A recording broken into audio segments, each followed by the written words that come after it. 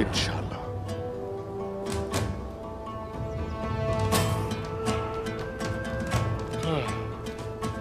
यहाँ हर शख्स को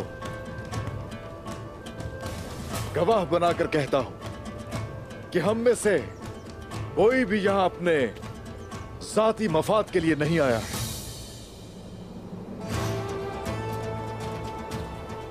हमारा मकसद इस सरजमीन में इंसाफ और अमन कायम करना है। और अब आप सब मुझे दुनिया और आखिरत में माफ़ करना। करते हैं। क्या आपने माफ़ किया? माफ़ करते हैं।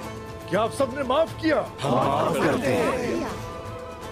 हम माफ़ करते हैं।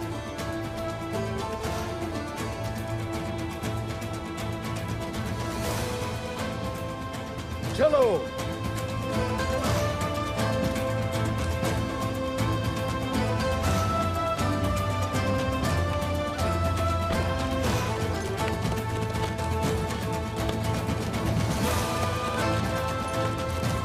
और हमारे खिलाफ खड़े होने वाले बागी, हमारे अंदर हज़रत हमजा जैसी जसारत, हज़रत यासिर जैसी संजीदगी और हज़रत अम्मार जैसा आज़म देखेंगे। मैं कसम खाता हूँ कि मेरा मकसद आज़ादी और ढाल शहादत है।